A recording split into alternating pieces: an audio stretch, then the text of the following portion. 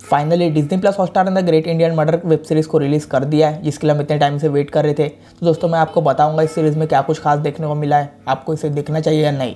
तो अगर आप जानना चाहते हो तो इस वीडियो को एंड तक ज़रूर से देखते रहिए और चैनल को भी सब्सक्राइब कर दीजिए। दोस्तों, इस सीरीज़ में हमें प्रतीक गांधी भी देखने को मिल रहे हैं। तो फैंस के लिए बहुत ज़्यादा अच्छी बात है। तो कहानी एक मर्डर को लेकर, जहाँ पर एक पॉलिटिशियन का लड़का, जिसका नाम है विक्की राय उसका मर्डर हो जाता है एक पार्टी में। दोस्तों, विक्की राय कोई आम आदमी या फिर कोई अच्छा इंसान नहीं है। उसने भी कई सारे क्राइम किए हुए हैं। इसी वजह से उसका एक पार्टी में मर्डर हो जाता है। और इस मर्डर के पीछे छः सस्पेक्ट्स होते हैं। तो सिक्स सस्पेक्ट छुपे हुए होते हैं।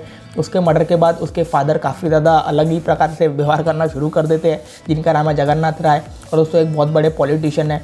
और वो अपने लड़के के मर्डर के लिए सीबीआई को भी इंक्वायरी बैठाते हैं। और सभा में दोस्तों, अपनी इंक्वायरी बिठा के अपने बेटे के मर्डर के कातिल का पता लगाना चाहते हैं। तो ऐसे में कहानी और भी ज़्यादा इंटरेस्टिंग हो जाती है।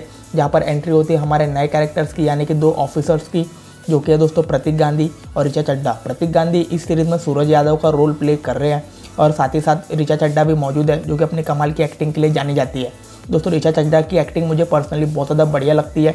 इस सीरीज़ में सुधा भारद्वाज का ये रोल प्ले कर रही है। तो ये दोनों ही ऑफिसर्स पता लगाना चाहते हैं कि आखिर किसने विक्की राय को मारा है। दोस्तों, इस कहानी में सस्पेंस बहुत ज़्यादा अच्छी तरीके से दिखाया गया है। साथ ही साथ मर्डर के पीछे के कारण भी देखने को मिले हैं, जो कि आप सीरीज़ को अच्छी तरीके से समझ जाएँगे।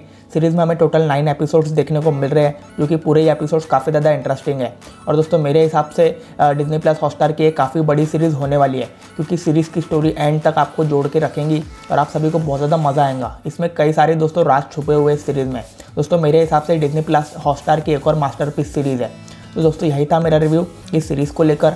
अगर आपको ये वीडियो पसंद आया होगा तो चैनल को ज़रूर से सब्सक्राइब कर दीजिएगा और बेल आइकन को अनेबल कर दीजिएगा। चलिए मिलते हैं अब हम नेक्स्ट वीडियो में।